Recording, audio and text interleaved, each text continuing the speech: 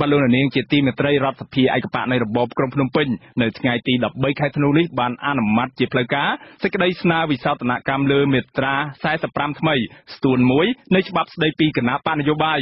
រួចរាល់ហើយនៅថ្ងៃនេះដើម្បីបើកផ្លូវឲ្យថ្នាក់ដឹកនាំគណៈបកសង្គ្រោះជាតិមួយចំនួនទទួលបានសិទ្ធិធ្វើនយោបាយឡើងវិញបាទប្រធានស្ដីទីគណៈបកសង្គ្រោះជាតិនិងអ្នកឃ្លាំមើលបញ្ហាសង្គមកម្ពុជាចាត់ទុកថាការធ្វើវិសោធនកម្មច្បាប់នេះគឺដើម្បីឲ្យលោកហ៊ុនសែនយកទៅប្រើប្រាស់តាមអារម្មណ៍និងសម្រាប់បំបីបំបាក់ផ្ទៃក្នុងនៃគណៈបកសង្គ្រោះជាតិមិនមែនដើម្បីដោះស្រាយបញ្ហាជាតិឬបញ្ហានយោបាយនិងដើម្បីពង្រឹងលទ្ធិប្រជាធិបតេយ្យឬនីតិរដ្ឋនោះទេ បាទពីរដ្ឋធានី Washington លោកទីនសាការីយ៉ារីកាព័រមេនេះ សភាឯកបៈនៃរបបលហ៊ុនសែនបានការពារទៅលើការកែប្រែឬការធ្វើវិសោធនកម្មលើមាត្រា45ថ្មីស្ទួនមួយនៃច្បាប់ស្តីពីគណៈបកនយោបាយដើម្បីបើកផ្លូវឲ្យថ្នាក់ដឹកនាំគណៈបកសង្គ្រោះជាតិដែលតុលាការកំពូលបានហាមឃាត់ធ្វើនយោបាយអាចមានសិទ្ធិធ្វើនយោបាយឡើងវិញបាននោះគឺមិនមែនដោយសារតែរងសម្ពាធអន្តរជាតិនោះទេ ប៉ុន្តែធ្វើឡើងដើម្បីពង្រឹងនីតិរដ្ឋក្រមស្មារតីបង្រួបបង្រួមជាតិប្រធានគណៈកម្មការសេដ្ឋកិច្ចហិរញ្ញវត្ថុនិងសវនកម្មនៃរដ្ឋសភាឯកបៈនិងជាមន្ត្រីជាន់ខ្ពស់របស់គណៈបកប្រជាជនកម្ពុជាលោកឈៀមយៀប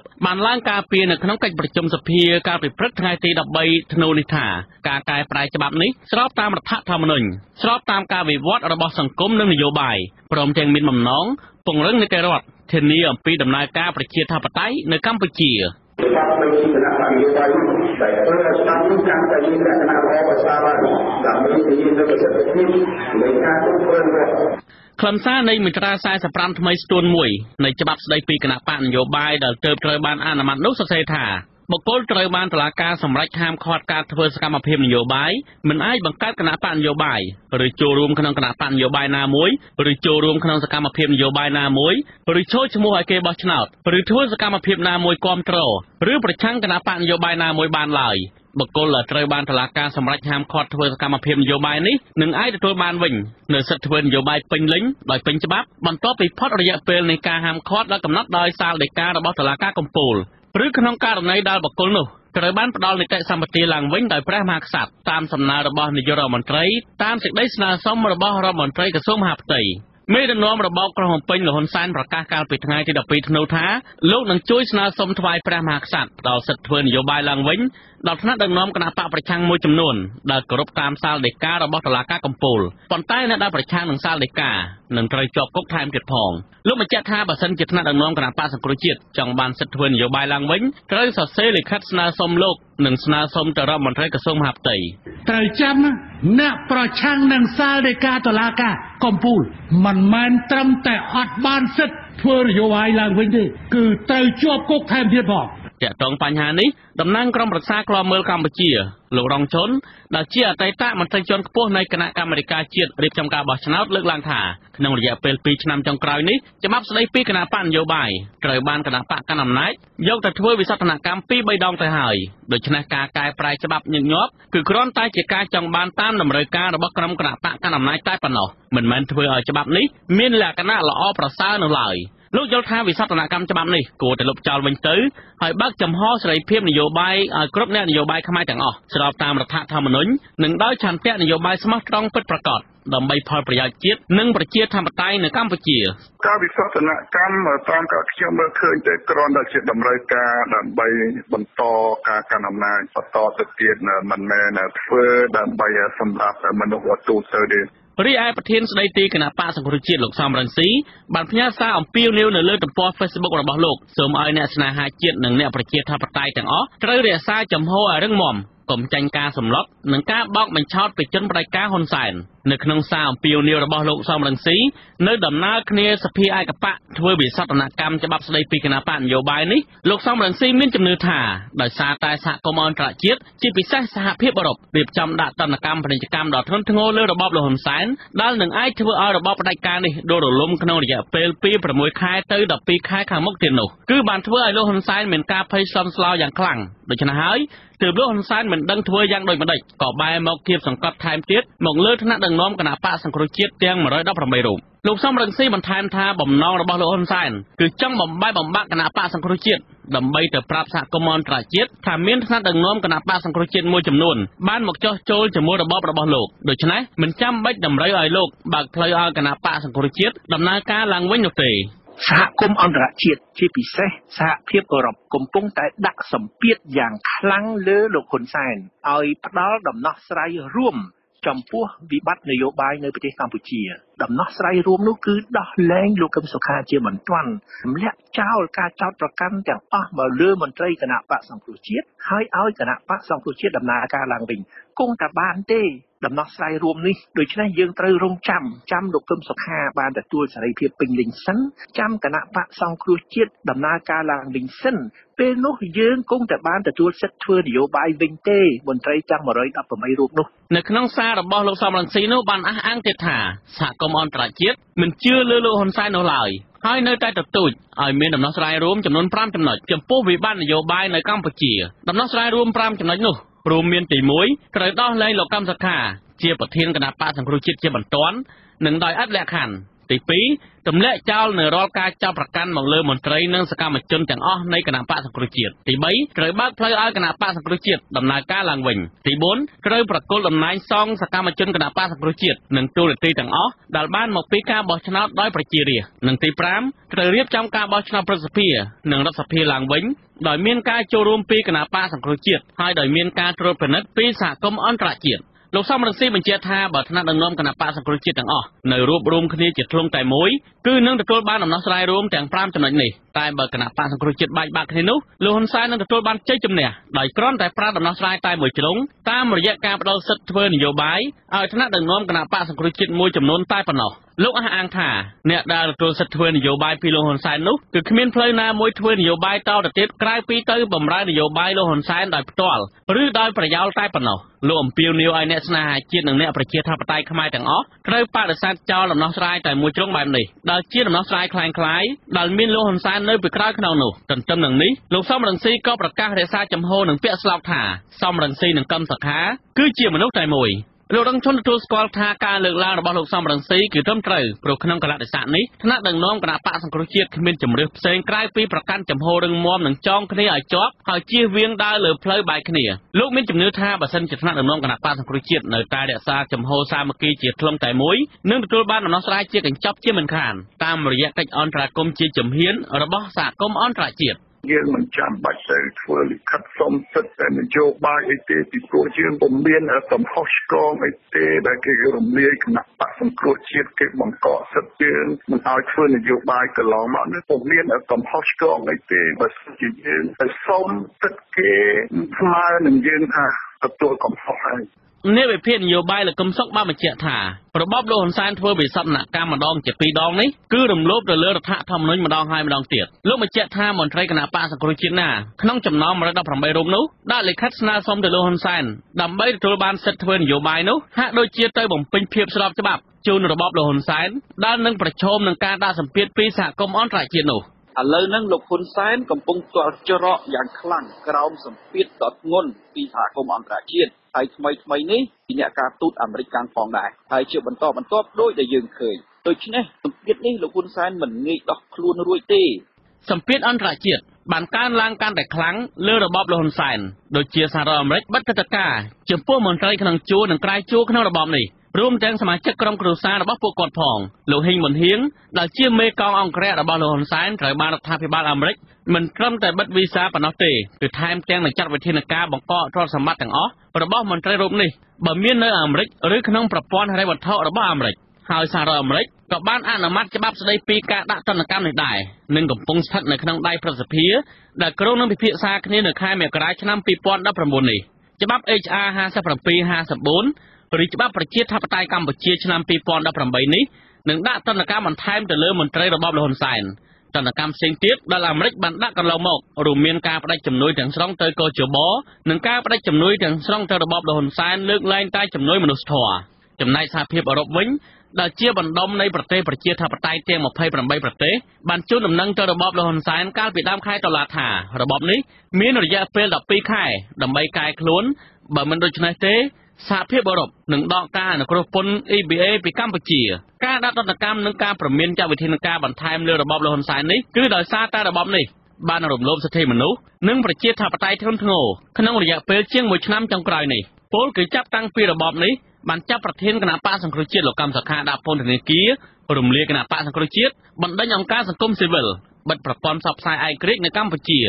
រដ្ឋបတ်សិទ្ធិសេរីភាពក្នុងការតវ៉ាផ្សេងៗនិងការរៀបចំបោះឆ្នោតដែលរងការរិះគន់ជំទិសថាជាការបោះឆ្នោតខ្លាំងខ្លាយជាដើម។ខ្ញុំទីនសាការីយ៉ាស៊ីសេរីភិរដ្ឋនីវ៉ាស៊ីនតោនបាទលោកនាងប្រិមត្តអ្នកស្ដាប់ជាទីមេត្រីលោកនាងកំពុងស្ដាប់ការផ្សាយផ្ទាល់របស់វិទ្យុអាស៊ីសេរីពីរដ្ឋធានីវ៉ាស៊ីនតោនសហរដ្ឋអាមេរិកបាទជុំវិញសំណុំរឿងនយោបាយដដែលនេះបន្ថែមពីលើសេចក្តីរាយការណ៍របស់លោក ទីនសាការីយ៉ានៅពេលអំបញ្ញមិញនេះមន្ត្រីជាន់ខ្ពស់របបក្រុងភ្នំពេញអះអាងថាគិតរហូតមកទល់ពេលនេះនៅមិនទាន់មានមន្ត្រីគណៈបកសង្គ្រោះជាតិណាម្នាក់ក្នុងចំណោម118នាក់ដែលត្រូវបានរបបលោកហ៊ុនសែនហាមឃាត់មិនឲ្យធ្វើនយោបាយនោះសរសេរលិខិតជាផ្លូវការទៅលោកហ៊ុនសែនដើម្បីសុំចោះចូលធ្វើនយោបាយឡើងវិញនៅឡើយទេបាទលោកហេងរស្មីរីកាព័ត៌មាននេះពីរដ្ឋធានី Washington រដ្ឋមន្ត្រីក្រសួងព័ត៌មានលោកខៀវកញ្ញរិទ្ធបានប្រាប់អាស៊ីសេរីតាមរយៈបណ្ដាញសង្គម Facebook ថាលោកមិនទាន់បានទទួលព័ត៌មានថាតើមានមន្ត្រីជាន់ខ្ពស់ណាខ្លះដែលបានសរសេរលិខិតមុនគេឲ្យលោកនាយករដ្ឋមន្ត្រីហ៊ុនសែនមេដឹកនាំរបបក្រុងភ្នំពេញដើម្បីបន្តថ្វាយទៅព្រះមហាក្សត្រនៅឡើយទេរដ្ឋសភាឯកបៈរបស់របបហ៊ុនសែននៅថ្ងៃនេះបានអនុម័តជាឯកច្ឆន្ទលើវិសោធនកម្មច្បាប់ស្ដីពីគណៈបកនយោបាយនៅថ្ងៃប្រហោះទី13នេះ ដើម្បីបន្តឲ្យគណៈបកសង្គ្រោះជាតិមួយចំនួនក្នុងចំណោម118នាក់បើកផ្លូវឲ្យពួកគេមានសិទ្ធិធ្វើនយោបាយឡើងវិញសមាជិកជាន់ខ្ពស់គណៈបកសង្គ្រោះជាតិចំនួន118នាក់ត្រូវបានរបបក្រុងភ្នំពេញបានហាមឃាត់មិនឲ្យធ្វើនយោបាយអស់រយៈពេល5ឆ្នាំក្រោយពីគណៈបកប្រឆាំងដ៏ធំជាងគេក្នុងប្រទេសកម្ពុជាមួយនេះត្រូវបានរំលាយតាមអំណាចនៃតុលាការកំពូលកាលពីខែវិច្ឆិកាឆ្នាំ2017 លោកហ៊ុនសែនថ្លែងប្រាប់ក្រុមកម្មករនៅក្នុងខេត្តកំពង់ស្ពឺកាលពីថ្ងៃពុធលោកបានធានាអះអាងថាក្រោយពីវិសោធនកម្មច្បាប់ស្ដីពីគណៈបកនយោបាយចូលជាធរមានលោកថាលោកបានត្រៀមខ្លួនរួចរាល់ហើយដើម្បីស្នើសុំថ្វាយព្រះមហាក្សត្រផ្ដល់សិទ្ធិធ្វើនយោបាយដល់ថ្នាក់ដឹកនាំគណៈបកសង្គ្រោះជាតិរូបណា ដែលគោរពតាមសាលដីការបស់តុលាការកំពូលត្រឹមត្រូវ ប្រធានស្ដីទីគណៈបកសង្គ្រោះជាតិលោកសំរងស៊ីបានចាត់ទុកថាអ្នកដែលសរសេរលិខិតស្នើសុំធ្វើនយោបាយពីលោកនាយករដ្ឋមន្ត្រីហ៊ុនសែនថាជាជនក្បត់បកលោកហេងដាណារ៉ូអតីតសមាជិកសភាតំណាងរាស្ត្រខាងគណៈបកសង្គ្រោះជាតិបានបញ្ជាក់តាមទូរស័ព្ទថាលោកមិនសរសេរលិខិតដើម្បីស្នើសុំលើកលែងទោសនោះទេនៅចំហខ្ញុំផ្ទាល់ខ្ញុំអត់មានត្រូវការសរសេរលិខិតទៅគាត់ទេពីព្រោះខ្ញុំអត់មានទោស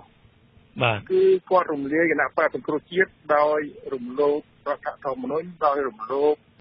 សិទ្ធិក្នុងនាមយើងជាបុគ្គលហើយគាត់ប្រើតឡាការដើម្បីបំបត្តិសិទ្ធិយើងដូចតែខ្ញុំមានអីដែលត្រូវទៅទេក្បត់ទៅសំទោសសូមឲ្យគាត់លើកលែងទោសខ្ញុំទេក្រុមឃ្លាំមើលកម្ពុជាលោករងឈុនបានអំពាវនាវដល់សមាជិកគណៈបកសង្គ្រោះជាតិទាំង118នាក់កុំឲ្យចាញ់ល្បិចនយោបាយរបស់លោកហ៊ុនសែនលោកនិយាយថា ការធ្វើវិសោធនកម្មច្បាប់នៅក្នុងប្រទេសកម្ពុជា ដើម្បីកែតម្រូវស្ថានភាពនយោបាយរបស់លោកហ៊ុនសែនមិនមែនជាលើកទី1ទេ លោកថាបើអ្នកនយោបាយណា នៅតែបន្តចាញ់បោកលោកហ៊ុនសែនទៀតគឺជាមនុស្សឆោតល្ងងបំផុតយើងសូមនៃការលើកឡើងទោសវាស្មើតែនឹងយើងទទួលស្គាល់ថាយើងមានទោសពីព្រោះមកដល់ឥឡូវនេះអ ត្តលាការធ្វើការស៊ើបអង្កេតករណីលោកកម្មសខាមកដល់ពេលនេះរកมันមានឃើញកំហុសឆ្គងអ្វីប៉ុណ្ណឹងហើយបើសិនជាយើងទៅស្ទំមកការលើកឡើងទោសសមសិទ្ធិអានឹងវាស្មើនឹងយើងទទួលស្គាល់ថាយើងនឹងខុសអត្តមានណាបាទលោកកឹមសុខាអតីតប្រធានគណៈបកសង្គ្រោះជាតិកំពុងជាប់ឃុំឃាំងនៅក្នុងផ្ទះគណៈពេលដែលសមាជិកព្រមទាំងមន្ត្រីជាន់ខ្ពស់របស់គណៈបកជាច្រើនអ្នក បានរត់ភៀសខ្លួនចេញពីក្រៅប្រទេសដើម្បីគេចចេញពីតាមប្រម៉ាញ់ពីអាជ្ញាធររបបក្រុងភ្នំពេញខ្ញុំបាទហេងរស្មី អាស៊ីសេរីពីរដ្ឋធានី Washington បាទលោកនាងប្រិមម្នាក់ស្ដាប់ជាទីមេត្រីជាបន្តទៅទៀតនេះខ្ញុំនឹងមានបទសម្ភាសន៍ផ្ទាល់មួយតាមប្រព័ន្ធវីដេអូ Skype ជាមួយនឹងលោកកឹមសុខអ្នកវិភាគនយោបាយដែលលោកនឹងចូលរួមតាមប្រព័ន្ធវីដេអូ Skype ពីប្រទេសហ្វាំងឡង់បាទសូមជំរាបសួរលោកកឹមសុខបាទ បាទជំរាបសួរលោកជំរាបសួរវិទ្យុអាស៊ីសេរីបាទបាទសូមអរគុណលោកកឹមសុខដែលបានចូលរួមនៅពេលនេះអ្វីដែលខ្ញុំចង់ដឹងបន្ថែមពីលើសេចក្តីរាយការណ៍ពីខាងដើមជំវិញសំណុំរឿងនយោបាយតាក់ទងនឹងការធ្វើវិសោធនកម្មច្បាប់ស្តីពីគណៈបញ្ញនយោបាយម្ដងហើយម្ដងទៀតមិនចេះចំចេះហើយនេះយើងឃើញថាវាំងនននយោបាយឥឡូវនេះបើយើងឃើញហើយគឺសេណារីយ៉ូចេញជាបណ្ដាបណ្ដាមកហើយអំពីអ្វីដែលរបបក្រុងភ្នំពេញគ្រោងនឹងធ្វើហើយក៏យើងដឹងអំពីចេតនាមួយចំនួននៃការធ្វើវិសោធនកម្មច្បាប់ស្តីពីគណៈបញ្ញនយោបាយនេះដែរខ្ញុំចង់ឲ្យលោកអឺទស្សទាយឬក៏ធ្វើការវិភាគដោយត្រួសត្រាសនិងខ្លីៗថាតើមានសេណារីយ៉ូនយោបាយអ្វីខ្លះដែលរបបក្រុងភ្នំពេញនឹងរៀបចំធ្វើឡើងដោយមិនពិនិត្យលើចេតនានៃរបបនេះដែលណានាណាក៏ដឹងដែរថាក្នុងគោលដៅដើម្បីបំបីបំបាក់ផ្ទៃក្នុងគណៈបកសង្គ្រោះជាតិនោះនោះបាទសូមអញ្ជើញបាទសេណារីយ៉ូបន្តគឺគេចាំមើលលទ្ធផលលទ្ធផលដែលច្បាប់នឹងចូលជាធរមានសិន បាទព្រះមហាក្សត្រឡាយប្រហោះលេខាហើយហើយលទ្ធផលនោះវាចេញផ្លែផ្កាប៉ុណ្ណាទៅដល់ក្រមលោកហ៊ុនសែនមានន័យថាមានអ្នកដែលចង់សុំសិទ្ធិធ្វើនយោបាយពីលោកហ៊ុនសែននឹងប្រមាណអ្នកហើយនៅក្នុងពេលដែលគេចាំមើលលទ្ធផលហ្នឹងគឺគេរកល្បិចបណ្ដើបណ្ដើទាំងការគម្រាមកំហែងទាំងការបញ្ចុះបញ្ចូលអ្នកទាំង117ឥឡូវនៅសល់117ទេពីព្រោះឯកឧត្តមជាមចានីលោកទទួលមរណភាពទៅហើយ ដូច្នេះ117ហ្នឹងគេរកទៅគាត់បដើបដើថាតើមានអ្នកណាខ្លះដែលអាចនឹងចូលទៅក្នុងអន្តៈនយោបាយរបស់គេហើយគេចាំមើលឱកាសចាំមើលឱកាសថាតើគេអាចធ្វើប្រឡោះណាបានប៉ុន្តែចំណុចណារបៀបណាគេធ្វើរបៀបណាទៀតនោះតើតែយើងចាំមើលបន្តបាទហ្នឹងគេចាំមើលលទ្ធផល លទ្ធផលដែលគេនឹងទទួលបានអំពីអធិពលដែល ជាប្រតិកម្មរបស់ពីគណៈបកប្រឆាំងហើយលទ្ធផលមួយទៀតគឺគេចាំមើលថាតើមានការសាទរប៉ុណ្ណាពីសហគមន៍អន្តរជាតិហើយក្នុងពេលដំណើរគ្នានឹងចំណុចទី3គេចាប់ផ្ដើមធ្វើបណ្ដើបណ្ដើនៅការសង់សេដ្ឋកិច្ចស្ថាបនាសេដ្ឋកិច្ចសម្រាប់ ការពង្រឹងនយោបាយរបស់គេពីព្រោះការធ្វើនយោបាយគេត្រូវពង្រឹងសេដ្ឋកិច្ចដូច្នេះគេត្រូវលូកទៅឲ្យបានកាន់តែជ្រៅតាក់ទងជាមួយនឹងក្រុមហ៊ុនជាពិសេស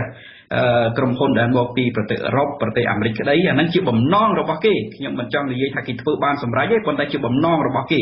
គេនឹងធ្វើរបៀបហ្នឹងតទៅទៀតដើម្បីអាចបន្ធូរស្ថានភាពដែលកំពុងតែរឹតកសង្កត់ទៅលើគណៈបកប្រជាជនកម្ពុជានិងក្រុមលោកហ៊ុនសែនបាទនេះជាអ្វីដែលជាសេណារីយ៉ូនឹងអាចកើតឡើងបន្ត សម្រាប់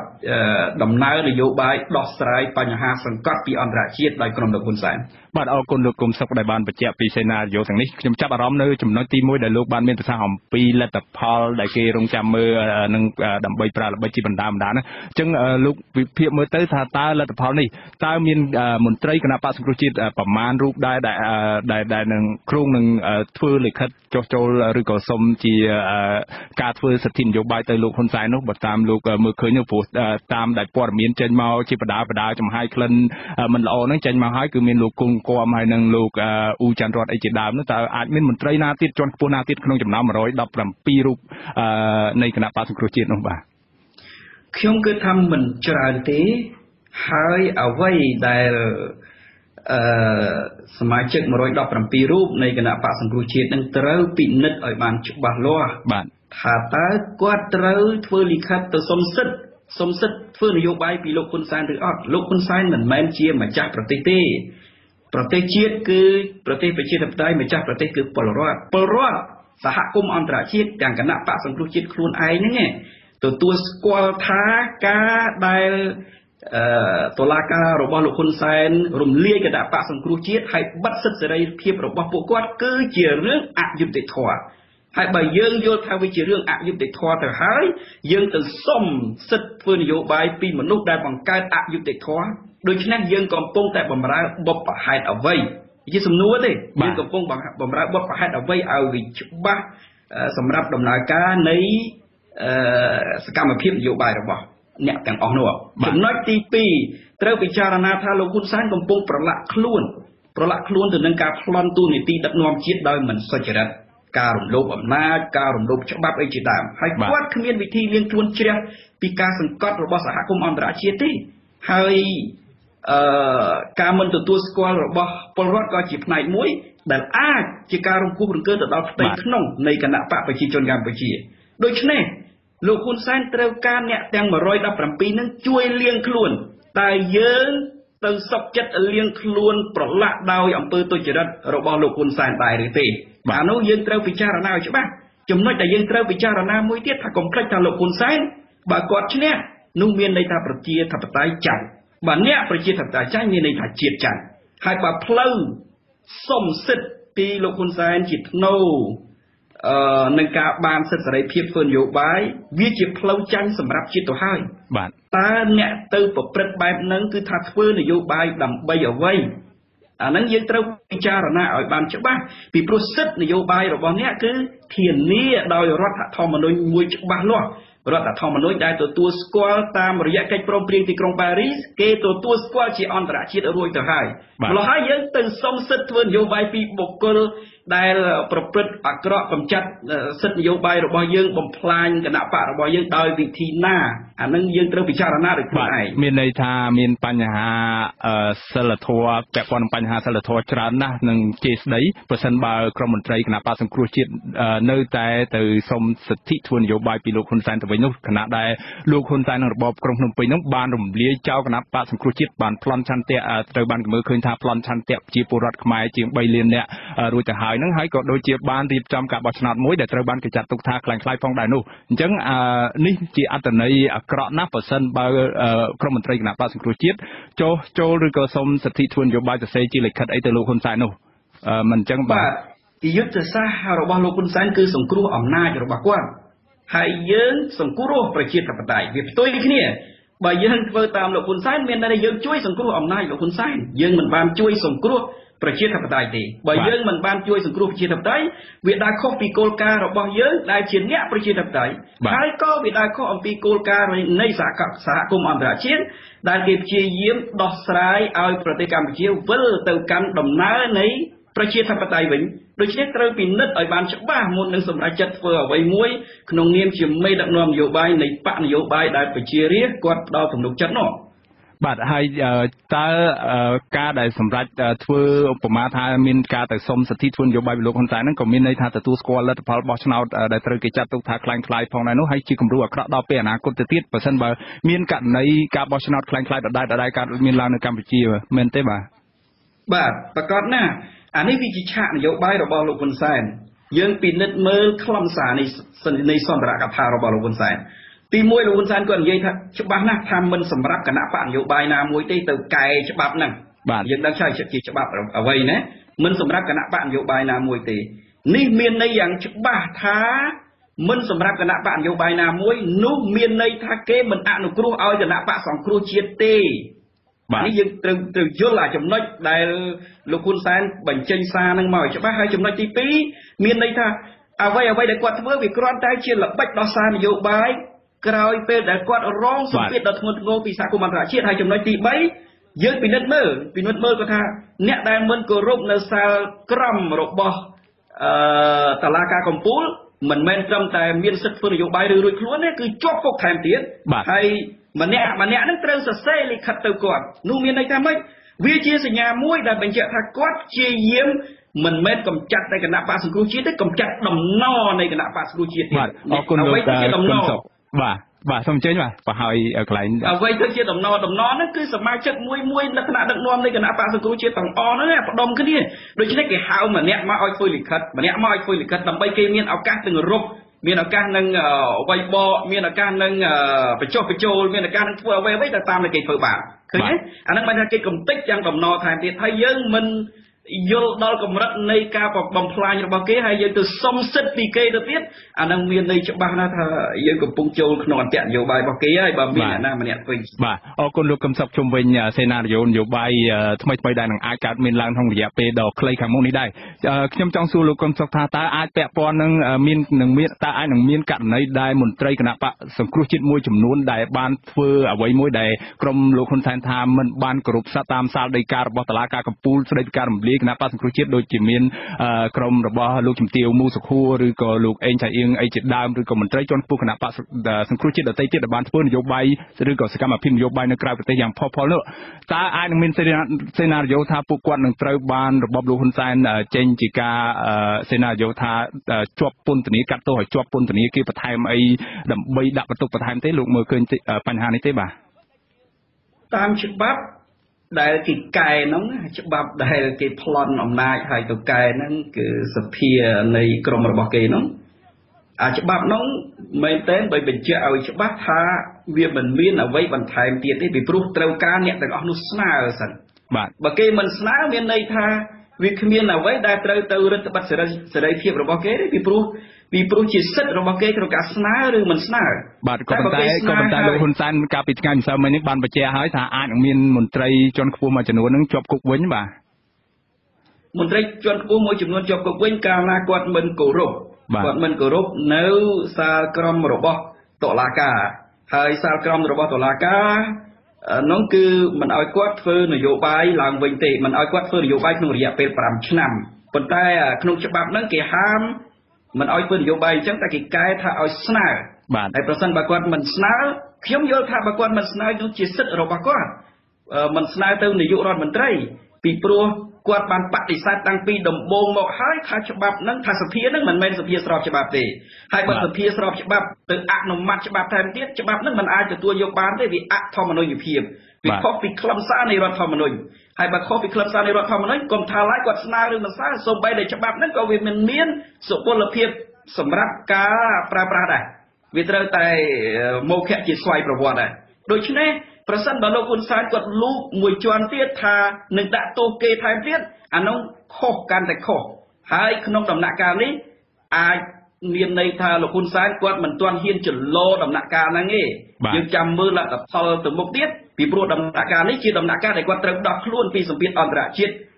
តាមរបៀបដែលគាត់អាចធ្វើបានសិន បាទអញ្ចឹងមានន័យថានឹងមិនទាន់អាចមានសេណារីយ៉ូអំពីការផ្ដន់ទាទោសលើមន្ត្រីគណៈបកប្រឆាំងមួយចំនួនដែលសកម្មធ្វើនយោបាយនៅក្រៅប្រទេសផ្ទុយពីអ្វីដែលជាការហៅថាបំរាមរបស់តុលាការកំពូលនៅក្រុងភ្នំពេញនោះទេបាទ ដំណាក់កាលនេះដូចជាមិនទាន់ទេហើយក្នុងរយៈពេលទៅមុខទៀតយើងចាំមើលសិនវាអាចឬមិនអាចទៅតាមខ្យល់អារម្មណ៍របស់លោកកឹមសាបាទឥឡូវយើងងាកមកមើលសេណារីយ៉ូមួយទៀតពីខាងសហគមន៍អន្តរជាតិវិញម្ដងដែលលោកបានអះអាងថាលោកហ៊ុនសែនកំពុងលៀងខ្លួនដើម្បីរួចផុតពីសម្ពាធនយោបាយអន្តរជាតិខ្លាំងនេះបាទពីខាងសហគមន៍អន្តរជាតិជាពិសេសគឺសហភាពសហភាពអឺរ៉ុបវិញម្ដងគឺ EU នោះដែលកំពុងតែដុតដៃដុតជើងធ្វើការពិចារណាឬក៏កំពុងដំណើរការនីតិវិធីដកហូតប្រព័ន្ធអនុគ្រោះពន្ធអ្វីៗទាំងអស់លើកលែងតែអាវុធនេះអាចនឹងកើតឡើងក្នុងរយៈពេលឆ្នាំ2019ដល់ខ្លីខាងមុខនោះតើលោកមើលឃើញថា តាទាំងភាគីសហភាពអឺរ៉ុបក៏ដូចជាសហរដ្ឋអាមេរិកឬក៏ក្រុមប្រទេសលោកខាងលិចដទៃទៀតនោះគេយល់ព្រមទេតាមអ្វីគេគេទទួលស្គាល់ទេឬក៏គេព្រមបន្ធូរបន្ថយឬក៏យល់ព្រមទទួលស្គាល់របបក្រុងភ្នំពេញទេនៅដំណោះស្រាយនយោបាយដែលរបបក្រុងភ្នំពេញកំពុងអះអាងថាមានការបដិញ្ញាចិត្តធ្វើការពង្រឹងប្រជាធិបតេយ្យតាមរយៈការកែច្បាប់កែអីលើកលែងសិទ្ធិនយោបាយនេះគេគេគេទទួលយកបានទេលោកមើលឃើញទេ ខ្ញុំគិតថាទទួលយកបានឬមិនទទួលយកបានអត់សូមប្រើពាក្យហ្នឹងសូមប្រើពាក្យថាទាំងសហរដ្ឋអាមេរិកបាទគុំអឺរ៉ុបនិងសហនិងអង្គការសហប្រជាជាតិ UN ហ្នឹងមិនព្រមប្រឡែងដៃទេពីព្រោះអ្វីចំណុចទី1លទ្ធផលគ្រាន់តែធ្វើច្បាប់ប៉ុណ្ណឹងហើយវាជាឆាកនយោបាយដើម្បីកំទេចគេទៀតដូច្នេះវាមិនសមទៅនឹងអ្វីដែលលោកហ៊ុនសែនបានបំផ្លាញហើយគាត់ឆ្លើយតបវាបានសមរម្យទេគាត់បំផ្លាញអ្វីគាត់បំផ្លាញគណៈបកសង្គ្រោះជាតិទាំងមូល គាត់យកកៅអី55នៃតំណាងរាទៅចែកគ្នាតាមចិត្តរបស់គាត់គាត់យកតំណាងឃុំសង្កាត់ជាង5000នាក់ទាំងក្រុមប្រឹក្សាខេត្តក្រុងខណ្ឌអីទៅទៀតជាង5000នាក់សរុបហ្នឹងយកទៅចែកគ្នា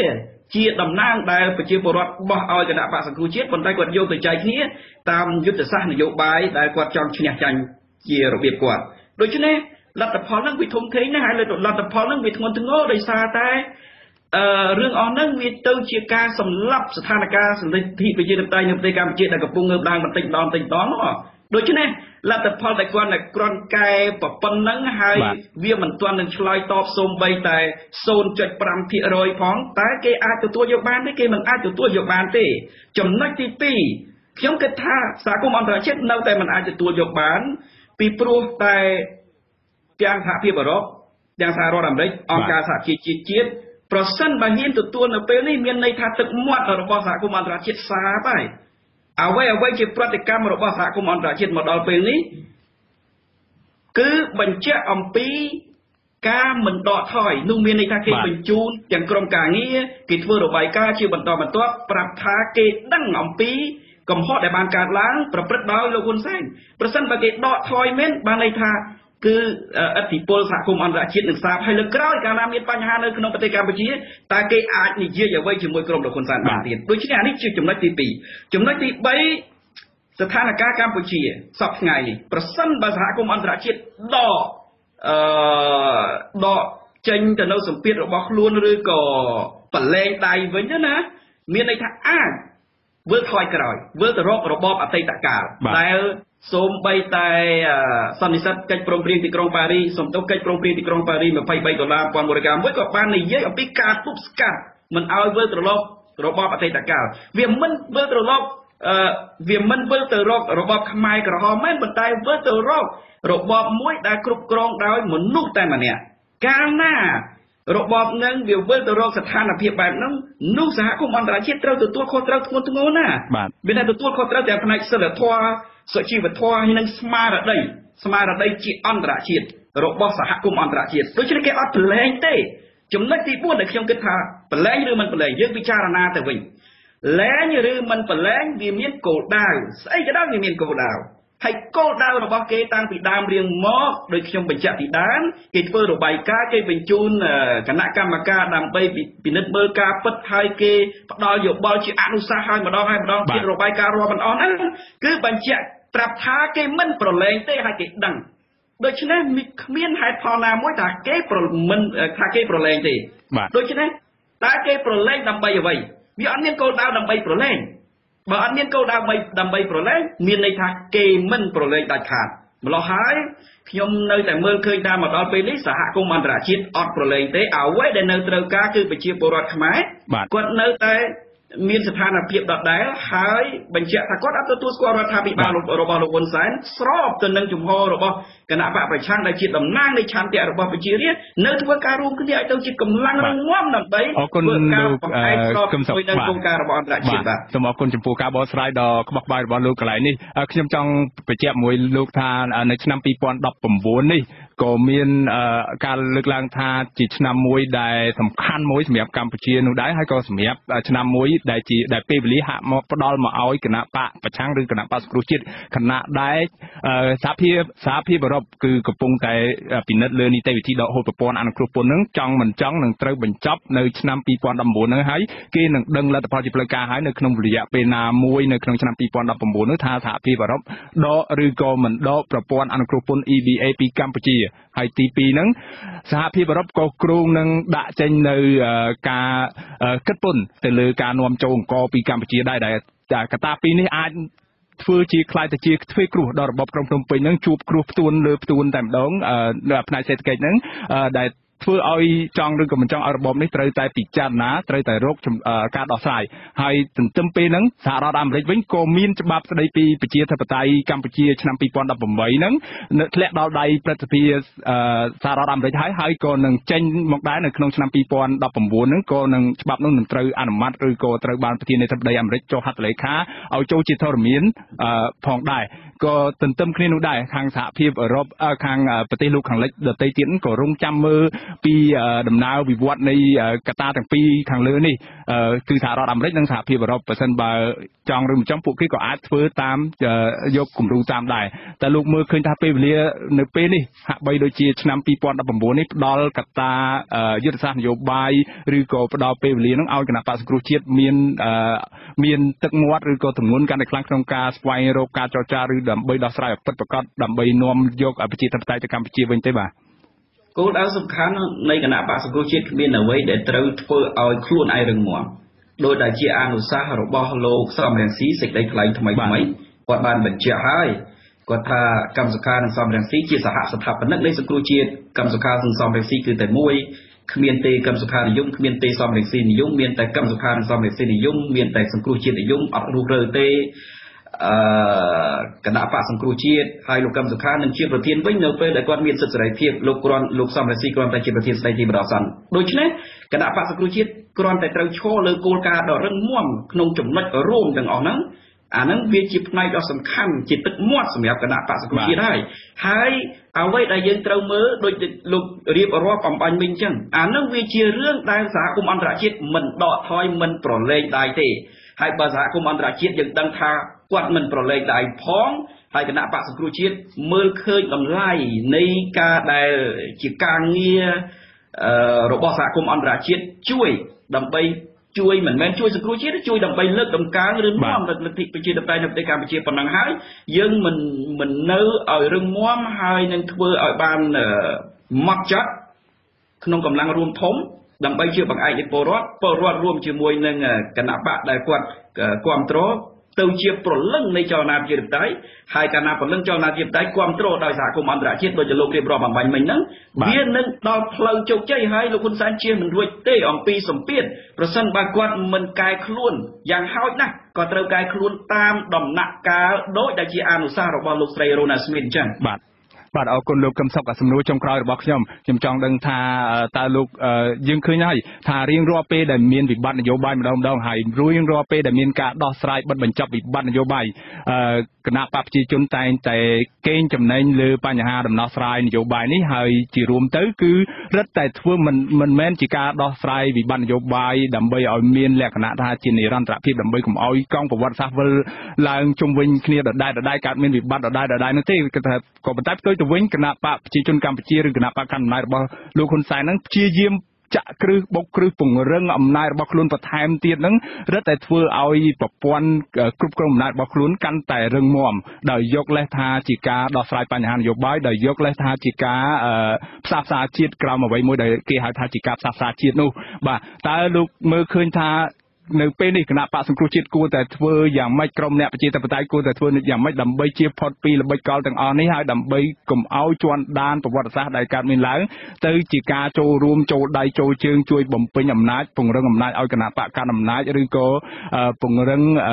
លទ្ធិនយោបាយមួយដែលមានលក្ខណៈជាការតពូជពងវងសកលរបស់លោកហ៊ុនសែននៅកម្ពុជានោះបាទតែត្រូវធ្វើយ៉ាងម៉េចព្រោះថាពេលនេះជាពេលវេលាល្អហើយនោះបាទសូមអញ្ជើញបាទ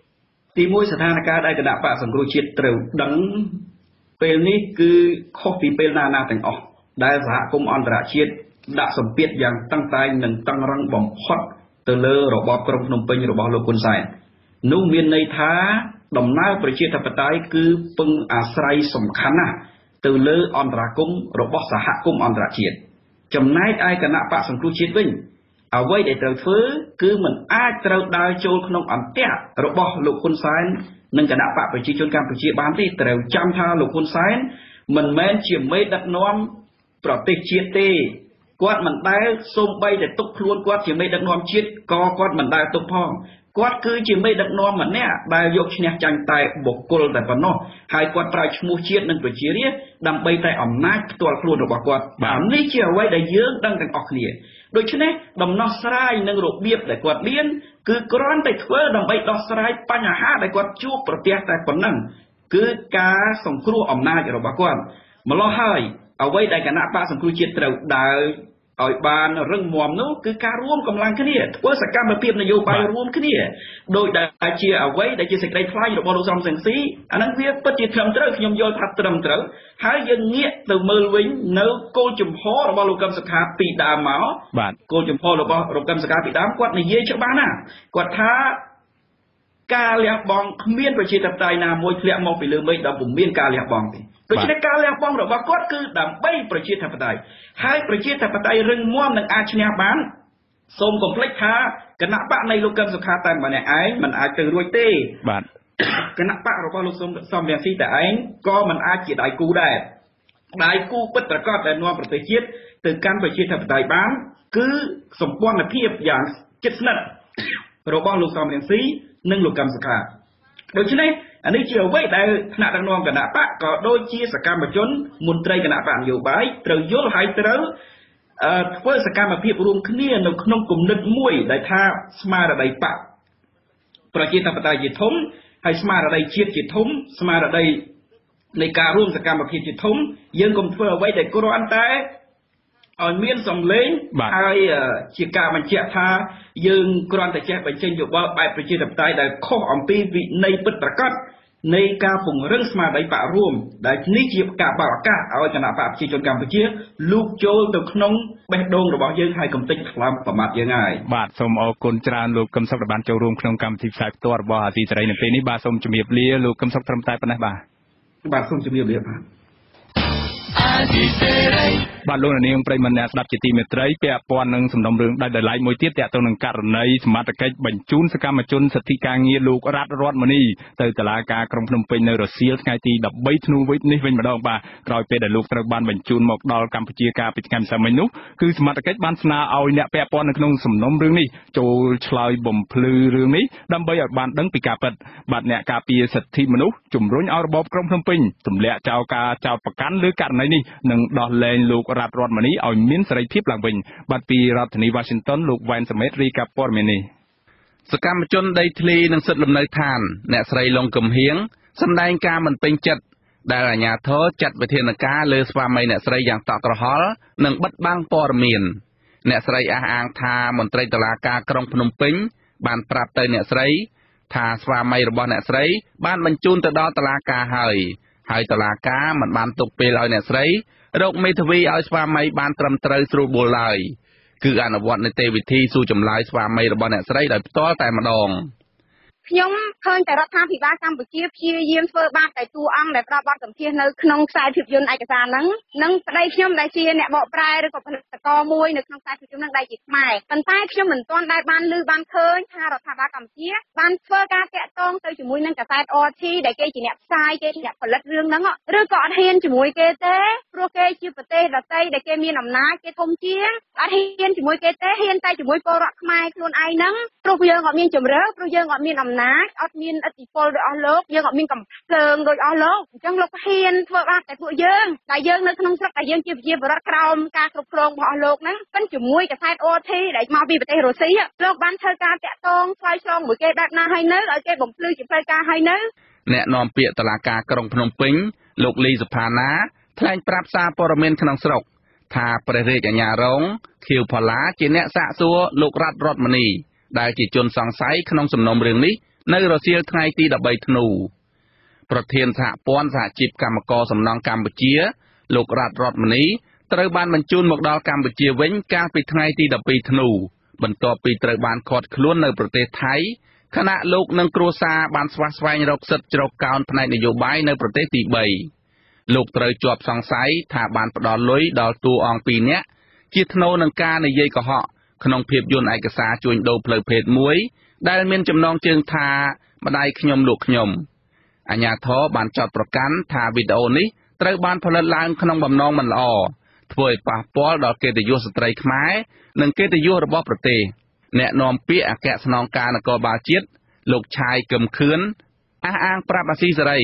ថាករណីលោករ៉ាត់រតមនីនេះសមត្ថកិច្ចអនុវត្តតាមដីការបស់តុលាការដែលត្រូវនាំខ្លួនគាត់ទៅសាកសួរ ពាក់ព័ន្ធនឹងការផលិតវីដេអូប៉ះពាល់ដល់កិត្តិយសជាតិលោកជំរុញឲ្យភាគីពាក់ព័ន្ធទាំងអស់សហការផ្ដល់ព័ត៌មានជុំវិញរឿងនេះទៅអាជ្ញាធរដើម្បីឲ្យបានដឹងការពិត។ ឬដើម្បីច្បាស់វាពាក់ព័ន្ធរបស់គួរតែបំភ្លឺឲ្យរបស់តែទៅវាថាឲ្យយើងយកស្រាវជ្រាវវាត្រូវការពីវេលាដែលសំខាន់កិច្ចសហការរបស់គាត់ហើយរបស់គាត់ដើរទៅគេទៅសមត្ថកិច្ចអត់សមត្ថភាពសមត្ថកិច្ចជាបខំគាត់យើងពិបាកណាស់ខ្លះមកជាជាអញ្ចឹងសមត្ថកិច្ចគេខំដល់បៃដល់ជើងណាតែបើគាត់អត់សហការហើយគាត់ជាតែដៃផ្ដល់ព័ត៌មានអវិជ្ជាពីសមត្ថកិច្ចអញ្ចឹងវាពិបាកដែរសម្រាប់ការនៅស្ដុំរឿងវាត្រូវតែអ្នកពាក់ព័ន្ធអស់មកភ្លឺបានត្រូវវាវាពិតប្រាកដ ទោះយ៉ាងណា អ្នកស្រីលងកំហៀងថ្លែងថាប្រសិនបើអាជ្ញាធរមានបំណងស្វែងរកការពិតក្នុងសំណុំរឿងនេះមែនអាជ្ញាធរគួរតែកោះហៅស្វាមីរបស់អ្នកស្រី និងអ្នកពាក់ព័ន្ធផ្សេងទៀតតាមនីតិវិធីឲ្យបានត្រឹមត្រូវមិនមែននៅសុកសុកស្រាប់តែចេញនៃការនាំខ្លួនបែបនេះឡើយអ្នកស្រីអះអាងថានឹងបន្តការតស៊ូមតិគ្រប់បែបយ៉ាង ដើម្បីរកយុត្តិធម៌ជូនស្វាមីរបស់អ្នកស្រី ខ្ញុំនឹងធ្វើគ្រប់សកម្មភាពតស៊ូដើម្បីការពារភាពពិតរបស់ប្តីខ្ញុំភាពត្រឹមត្រូវរបស់ប្តីខ្ញុំព្រោះប្តីខ្ញុំអាចខុសទេការផលិតភាពយន្តឯកសារនេះជារឿងពិតបើលោកចង់ដឹងពិតមិនពិតលោកសង្កេតខ្លួនឯងតាមបែបនីតិវិធីត្រឹមត្រូវទៅកុំមកគម្រាមកំហែងឆាប់ចងប្តីខ្ញុំបែបហ្នឹងហើយលោកនិយាយថាវាប៉ះពាល់កិត្តិយសស្ត្រីខ្មែរអីណាប្រទេសជាតិអីណាខ្ញុំវាអស់សំណើចទេពីព្រោះដោយសាររឿងជួញដូរមនុស្សមិនមែនកើតឡើងនៅក្នុងតែខ្សែភាពយន្តហ្នឹងទេនៅកម្ពុជាស្ទើរគ្រប់ទីកន្លែងដែលមានអំពើជួញដូរមនុស្សហ្នឹងអញ្ចឹងលោករមើលស៊ើបអង្កេតហើយទប់ស្កាត់វាទៅកាលពីពេលកន្លងទៅសមត្ថកិច្ចបានកោះហៅតួអង្គម្ដាយកូនពីរនាក់ នៅក្នុងភាពយន្តឯកសារនេះទៅសាកសួរនិងក្រោយមកអះអាងថាពួកគេបានសារភាព ថាពួកគេបានទទួលលុយ200ដុល្លារពីលោករដ្ឋរដ្ឋមនីដើម្បីប្រឌិតសាច់រឿងទោះជាយ៉ាងណាសមត្ថកិច្ចមិនបានហៅគ្រប់តួអង្គនៅក្នុងរឿងទៅសាកសួរនោះឡើយហើយក៏បានផ្ដើមស្វែងរកចាប់ខ្លួនលោករដ្ឋរដ្ឋមនីតែម្ដងតួអង្គម្នាក់ទៀតនៅក្នុងសាច់រឿងកញ្ញាអ៊ុនស្រីពេជ្រអះអាងប្រាប់អាស៊ីសេរី ថាចាប់តាំងពីភាពយន្តឯកសារនេះចេញផ្សាយមក នាងមិនដែលត្រូវបានកោះហៅទៅសាកសួរពីរឿងនេះឡើយនាងអះអាងថានាងមិនខ្លាចក្នុងការចូលខ្លួនឆ្លើយបំភ្លឺរឿងនេះឡើយព្រោះអ្វីដែលនាងបានរៀបរាប់នៅក្នុងភាពយន្តឯកសារនោះគឺជារឿងពិតផ្ទាល់ខ្លួន នាងបន្ថែមថានាងស្ម័គ្រចិត្តទម្លាយរឿងទាំងនេះដោយគ្មានការបង្ខិតបង្ខំនិងទទួលបានលុយកាក់ពីក្រុមអ្នកផលិតនោះឡើយ។ ខ្ញុំអត់ខ្លាចតាមទៅធ្វើបងបើមិនជាគាត់ដាក់វិការហៅខ្ញុំទៅអាហ្នឹងខ្ញុំទៅពួកអីលោកគ្រូខ្ញុំឲ្យមួយខ្ញុំអត់មានត្រូវខុសអីទេខ្ញុំចង់ឲ្យអាជ្ញាធរនិងក្រុមប៉ូលីសដល់លេលោកគ្រូខ្ញុំវិញទៅព្រោះគាត់មានធ្វើរឿងខុសឆ្គងឬក៏សោកលុយឲ្យគេថតរឿងនិយាយប្រឌិតពិសេសពួកអីរឿងហ្នឹងជារឿងការប៉ັດភាពយន្តឯកសារម្ដាយខ្ញុំលោកខ្ញុំមានរយៈពេលជាង27នាទីបង្ហាញពីនារីវ័យក្មេងមិនទាន់គ្រប់អាយុ3នាក់ ត្រូវបានលក់ឲ្យបម្រើផ្លូវភេទដើម្បីដោះស្រាយជីវភាពគ្រួសារក្រីក្រលំបាកភាពយន្តឯកសារនេះមានចំនួនចូលទស្សនាជាង1លាន4សែនដង លើបណ្ដាញ YouTube និងជាង5សែនដង នៅលើបណ្ដាញសង្គម Facebook ដែលជាវីដេអូសង្ខេបផ្ដោតលើគ្រួសារអតីតពលរដ្ឋបង្កក់ដែលរងការបណ្តេញចេញដោយបង្ខំនិងមិនបានទទួលសំណងប្រធានសហភាពសហជីពកម្ពុជាលោករងឈុនថ្លែងថាលោកបានដាក់លិខិតទៅសហជីពអន្តរជាតិ ដើម្បីស្នើសុំឲ្យជួយអន្តរាគមន៍ករណីនេះព្រោះលោកអះអាងថាលោករដ្ឋរដ្ឋមនីមិនបានប្រព្រឹត្តកំហុសដោយការចោទប្រកាន់នោះឡើយលោកជឿជាក់ថាចំណាត់ការលើសកម្មជនសិទ្ធិការងាររូបនេះគឺដោយសារភាពយន្តឯកសារម្ដាយខ្ញុំលោកខ្ញុំប៉ះពាល់ដល់មុខមាត់ក្រុមមេដឹកនាំរបបក្រុងភ្នំពេញហើយរបបនេះចង់លាក់បាំងការពិតជុំវិញការជួញដូរផ្លូវភេទនៅកម្ពុជា លោកបន្ថែមថារបបនេះ គួរតែប្រឹងប្រែងលុបបំបាត់ការជួញដូរផ្លូវភេទទៅវិញទេទើបត្រឹមត្រូវមិនមែនចាត់វិធានការលើអ្នកហ៊ានលាតត្រដាងការពិតជុំវិញបញ្ហានេះឡើយ អានេះវាជារឿងឆ្លុះបញ្ចាំងការពិតហើយគាត់ក៏បានសាកសួរមុននឹងថតមុននឹងអីហ្នឹងអញ្ចឹងខ្ញុំគិតថាអ្វីដែលរដ្ឋាភិបាលចោតប្រកាន់នេះគឺចោតប្រកាន់មិនត្រឹមត្រូវទៅលើលោករដ្ឋមនីហ្នឹងបាទហើយសូមឲ្យអាជ្ញាធរកម្ពុជានឹងត្រូវពិនិត្យមើលឡើងវិញហើយនឹងដោះលែងឲ្យគាត់មានសេរីភាពឡើងវិញ គណៈកម្មាធិការជាតិប្រយុទ្ធប្រឆាំងអំពើជួញដូរមនុស្សនៃរបបក្រុងភ្នំពេញធ្លាប់បានបង្ហាញរបាយការណ៍កាលពីពេលកន្លងទៅ ថាបទល្មើសជួញដូរមនុស្សនិងអាជីវកម្មផ្លូវភេទនៅក្នុងឆ្នាំ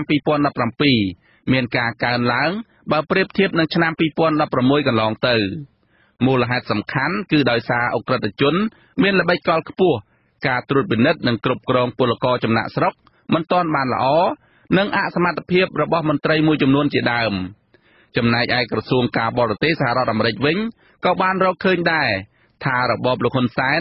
នៅមិនទាន់អនុវត្តបានពេញលេញនៅបទដ្ឋានអបបរមាស្ដីពីការលុបបំបាត់ការជួញដូរមនុស្សនៅឡើយ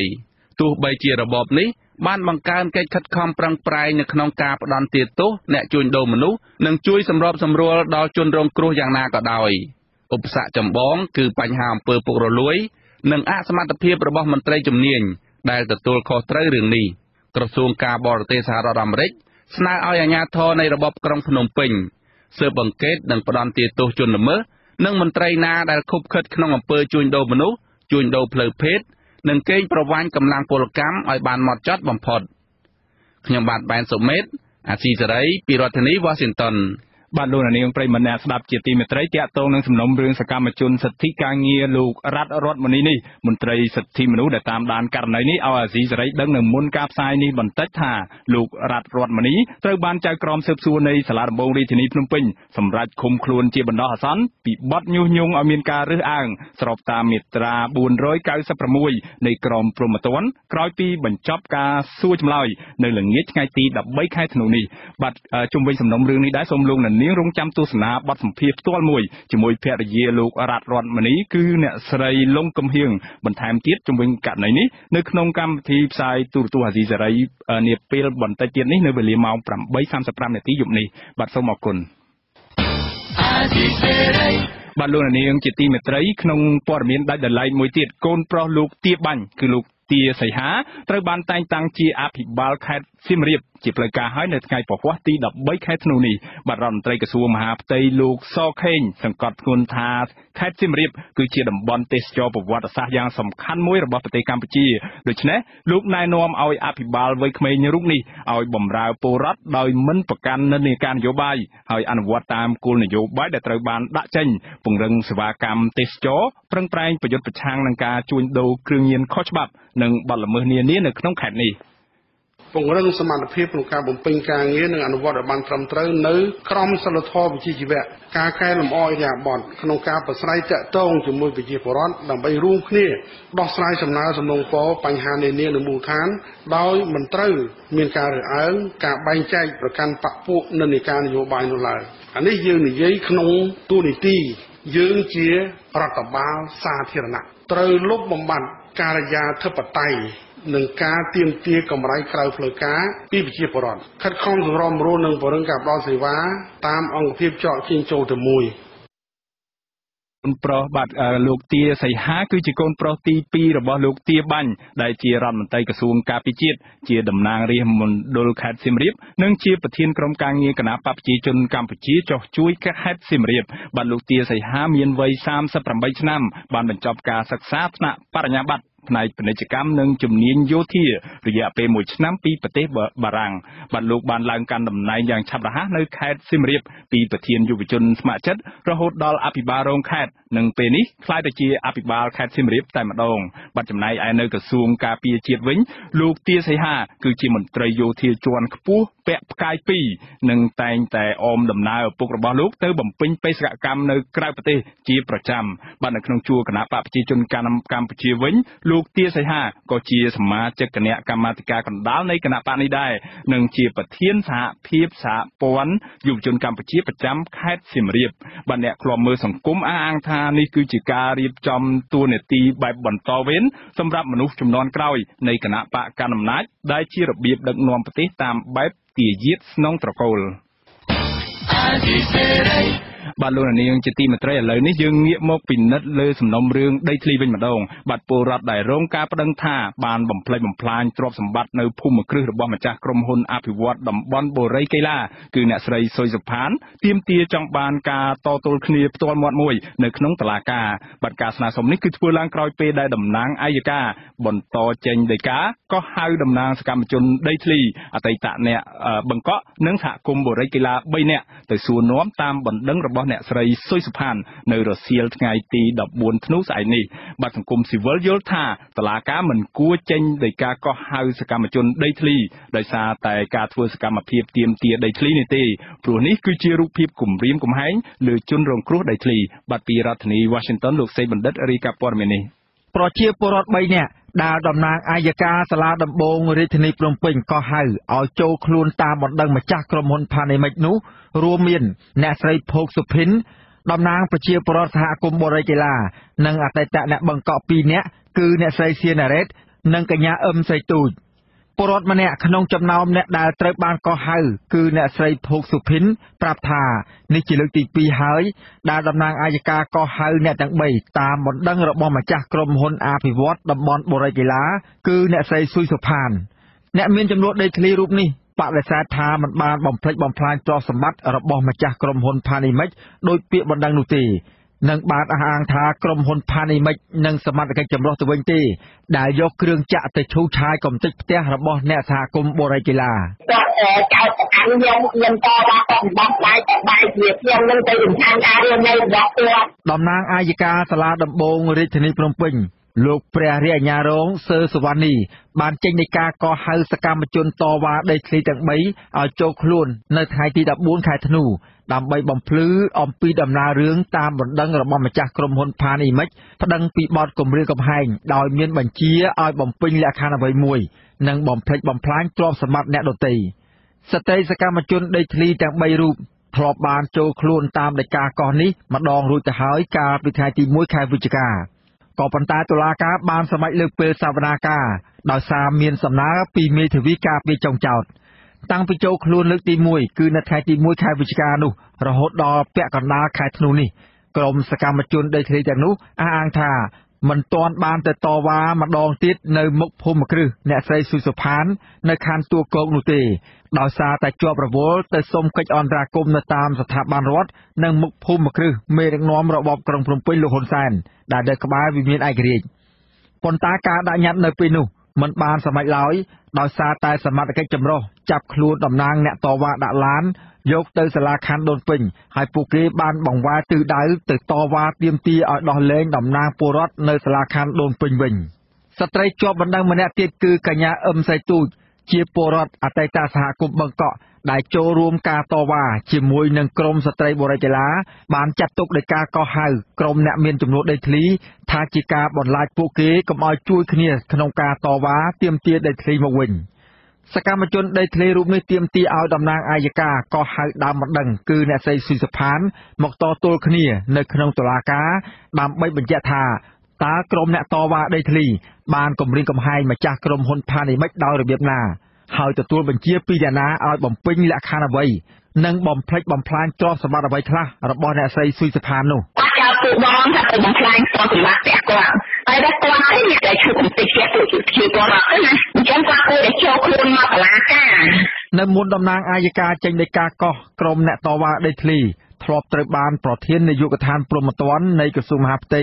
លោក សុក ខេមរិន ចេញលិខិតកោះហៅឲ្យចូលខ្លួនទៅក្រសួងមហាផ្ទៃម្ដងរួចទៅហើយ កាលពីថ្ងៃទី20ខែមីនាតាក់ទងនឹងសកម្មភាពនាំគ្នាទៅតវ៉ានៅខាងមុខភូមិគ្រឹះអ្នកស្រីសុយ សផាន សកម្មជនដេញធ្លីអះអាងថាកាលនោះមន្ត្រីនាយកដ្ឋាននគរបាលព្រហ្មទណ្ឌម្នាក់មិនព្រមប្រាប់ឈ្មោះទេតែបានប្រមានចាប់ខ្លួនអ្នកស្រីបើនៅតែបន្តតវ៉ាស្វែងរកដំណោះស្រាយនៅខាងមុខភូមិគ្រឹះអ្នកស្រីសុយសផានបន្តទៀតអាស៊ីសេរីនៅពុំទាន់អាចសុំការបំភ្លឺពីខាងភៀកគីអគ្គនាយិកាក្រុមហ៊ុនផានអ៊ីមិចគឺអ្នកស្រីសុយសផាន និងព្រះរាជអាជ្ញារងលោកសឺសវណ្ណីបានទេ